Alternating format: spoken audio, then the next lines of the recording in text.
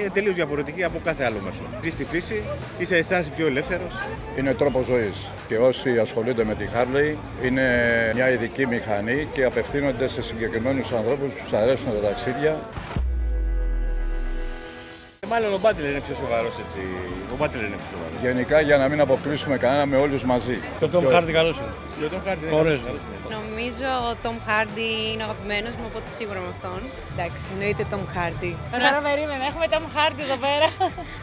Να πάρω εγώ το Tom Hardy. Ένας είναι ο πρωταγωνιστής της ταινίας και λέγεται Tom Hardy.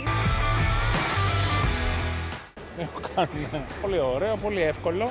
Δεν είναι τόσο δύσκολο όσο φαίνεται και απολαμβάνεις για μένα πολύ πιο πολύ τα πάντα. Όχι, αλλά το έχω στο πρόγραμμα. Δεν έχω ανέβει ποτέ σε μηχανή. εγώ. όχι, ούτε εγώ.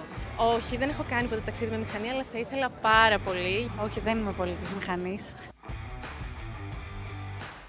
Εντάξει, θα το ήθελα γιατί είναι λίγο παρεξηγημένη. Εντάξει, εδώ στην Ευρώπη όχι τόσο, αλλά στην Αμερική είναι αρκετά. Κοίτα, ούτως ή άλλως την έχω κάνει idolize γιατί έχω δει αρκετές σειρές και ταινίες με bike gangs. Νομίζω πως ναι, αν και αναφέρεται από ό,τι έχω καταλάβει και από ό,τι έχω δει σε μια άλλη εποχή.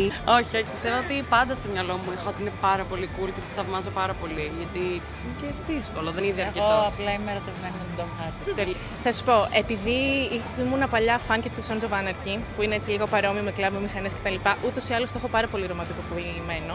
Ε, σίγουρα, γιατί δεν την έχω δει ποτέ προ- από μέσα, οπότε φαντάζομαι θα μας δώσει μια ωραία εικόνα.